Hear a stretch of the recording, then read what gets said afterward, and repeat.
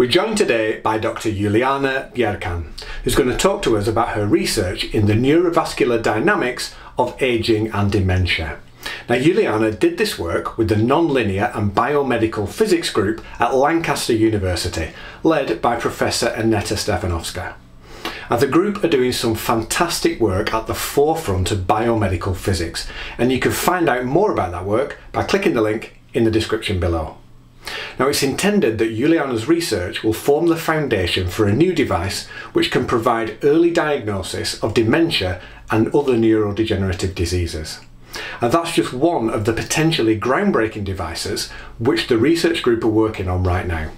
And we at Systemic Creative are supporting the group to help them bring these devices to market. So keep your eyes peeled on the channel for some exciting updates. Now before we dive into today's content, a quick word from our video sponsor. EcoWorthy make high quality solar power solutions for remote applications such as camper vans or boats. Now we're using one of their solar kits with this flexible panel integrated with the bike generator. So we've got a charge controller, 50 amp hour lithium iron phosphate battery and a 600 watt pure sine wave inverter. So as you can see we're charging a laptop, a power bank and a phone and because this is all connected to the bike generator, we can generate power day or night. Now, EcoWorthy have got some great deals on at the moment for viewers of the channel. So if you want to get your hands on some of this awesome kit at a really good price and support the channel while you're doing it, use the link in the description.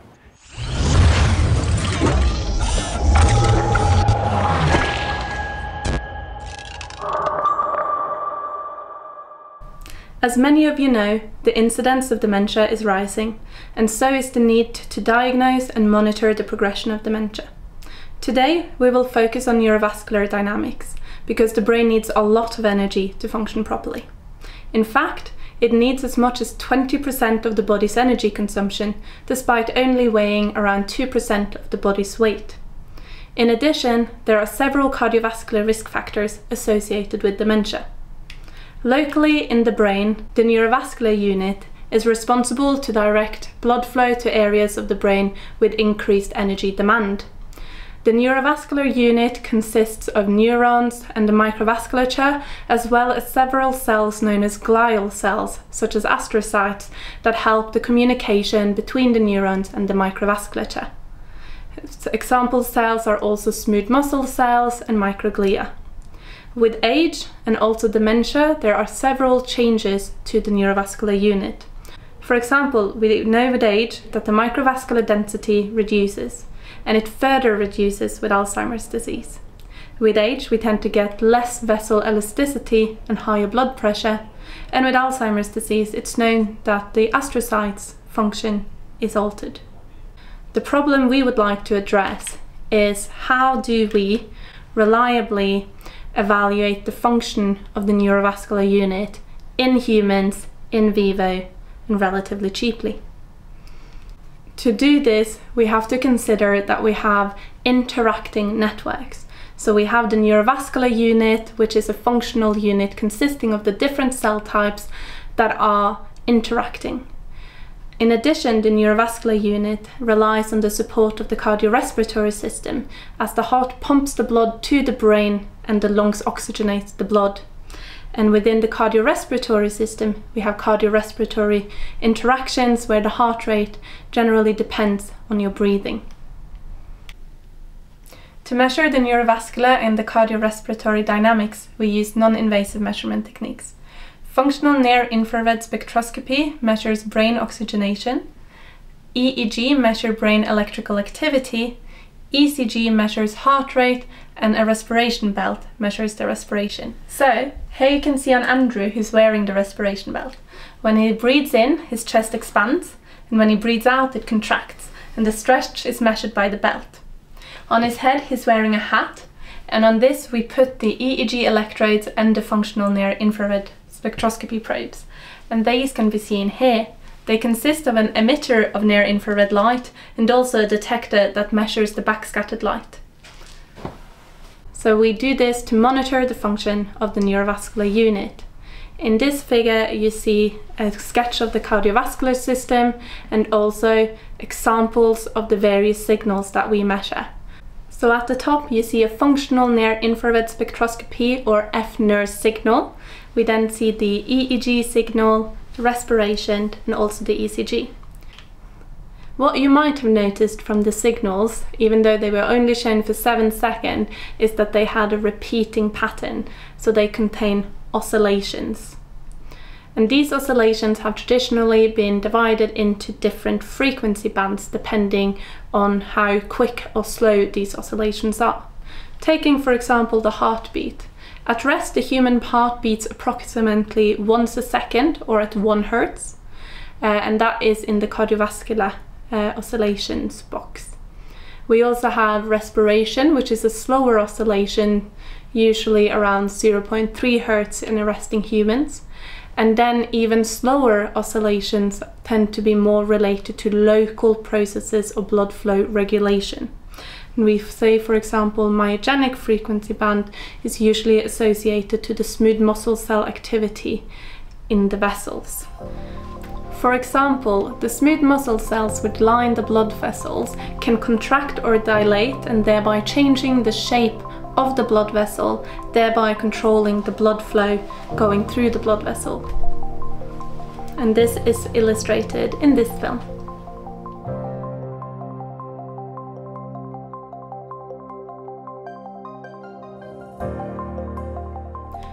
The similar approach can be taken with brain oscillations, though they tend to be quicker. And they are usually in, divided into delta, theta, alpha, beta, and gamma band. But there are also slower brain oscillations, often called slow or infraslow oscillations. So what we have is several challenges that we must take into account when we analyse our measured data. We have many oscillatory processes operating on different timescales. So some are very quick, some are slower, and that is known as multi-scale dynamics. Further, we have interacting networks causing complex dynamics, so they're depending on each other and influencing each other. And we're also dealing with an open system. That means that living system exchange matter and energy with the environment, and this leads to time varying dynamics. Our approach is to determine the presence and the strength of oscillations. And to do this, we use the wavelet transform. We also determine the presence of coordinated oscillation, and for this we use wavelet phase coherence. To illustrate what we mean, first to determine the presence and strength of oscillations. Here you will see two sinusoidal signals, one black with higher amplitude and the orange one with lower amplitude. The power of the orange is therefore lower than the power of the black signal. However, this is extremely simplified. There is no time varying frequencies here. Instead, our signal tends to look more like this. Here you see 20 minutes of an FNIR signal in the time domain at the top.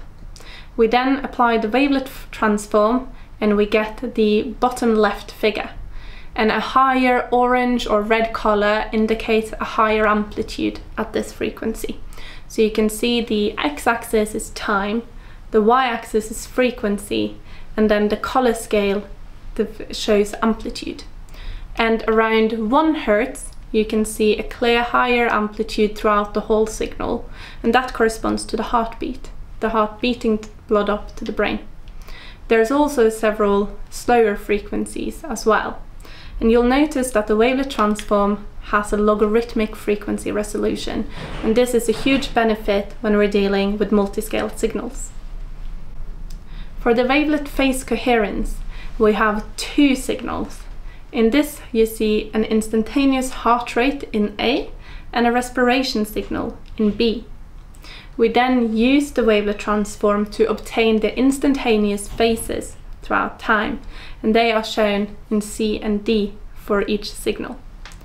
We then want to evaluate how consistent is the phase difference between these two signals at the different frequencies throughout time. And to go with two examples, we choose 0.1 Hz and 0.3 Hz. In E, you can see the phase difference at 0.1 Hz, and you'll see it tends to be quite irregular. You can't clearly see a pattern. And indeed, this corresponds to a very low phase coherence if you see in G, with the big red, light red ball indicated. If we then focus on F at 0.3 Hz, which is around this participant's respiration rate, you can see that the phase difference between the respiration and instantaneous heart rate is very regular. And this corresponds to a high wavelet phase coherence, which you can see in G as the dark red dot uh, around 0.3. So the wavelet phase coherence is quantified um, with this equation and note again that it has logarithmic frequency resolution uh, which is again very useful when we're dealing with multiscale signals. We use wavelet phase coherence to evaluate the neurovascular phase coherence, doing the wavelet transform of an EEG and an FNIR signal, and then looking at how consistent the phase difference is. However, wavelet phase coherence is not zero for two random signals, and we therefore need a method to evaluate when the coherence we find is significant. And for this, we're going to use inter-subject surrogates. That means that we use two signals from different participants and we calculate the coherence between those two signals. So for example, I could use my instantaneous heart rate and Andrew's respiration signal, and they should in no way be interacting and influencing each other. And so the coherence obtained that way would be random. And by doing many, many, many of these intersubject surrogates, we obtain what is known as a surrogate threshold. And we subtract this from the original coherence we calculated, and only coherence above the threshold is considered significant, and that is the coherence we take on when we are comparing the groups. And for this, we are comparing a healthy younger group around 30 years old and a healthy older group around 65 years old. We're also going to compare a healthy elderly group around 68 years old and a group of people with Alzheimer's disease, which is around 71 years old. And we're going to compare the neurovascular coherence first. So as I said earlier, we have 16 EEG signals per participant, and you can see these on the y-axis. We also have 11 FNIR signals per participant, which is on the x-axis. Each little square in this bigger square corresponds to the median group coherence between each FNIRS probe and EEG combination. To the left we have the younger group, in the middle we have the older group, and to the right you see where we found significant differences between the two groups. If the color is blue or purple, that means the younger group had higher coherence than the older group and this is the case in 45 uh, of the combinations. The head plots show the same information as the squared plots, uh, just onto the brain, so you can get an idea of where these differences were found. Going on to the Alzheimer's data. You see the controls to the left, you see the Alzheimer's in the middle, and you see the significant differences again to the right. And again, if it is blue or purple for the significant differences, it means that the control group had higher coherence than the Alzheimer's group, which also was the case. Looking at the more complete picture of our results, first compare the EEG power in the frequency bands of the myogenic and the cardiac band. And we see there are generally few differences between the two groups. If we go on to the FNIRS power or the oxygenation power, we see in the myogenic frequency band, which was associated with the smooth muscle cells, there is a significant difference between the younger and the older group in eight of the location, and there's a significant difference between the control and Alzheimer's group in four location. And both in cases, the younger group had higher power, or the control group had higher power.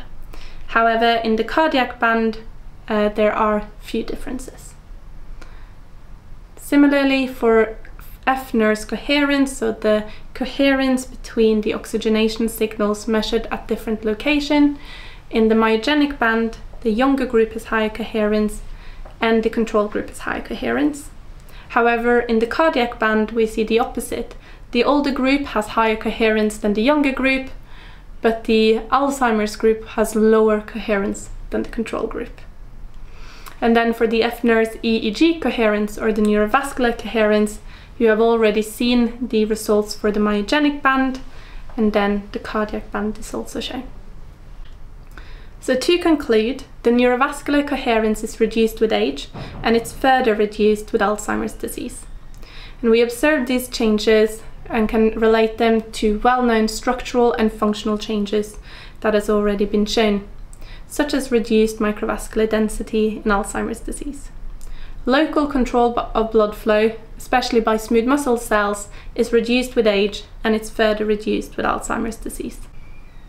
So to conclude the talk, simultaneous measurements of brain oxygenation and electrical activity combined with the finite time analysis methods that's been developed here at Lancaster University provide new insights into the functioning of the neurovascular unit, both in health and disease. And this could be a new method to non-invasively, reliably, and also relatively inexpensively diagnose and follow up the progression of neurovascular diseases.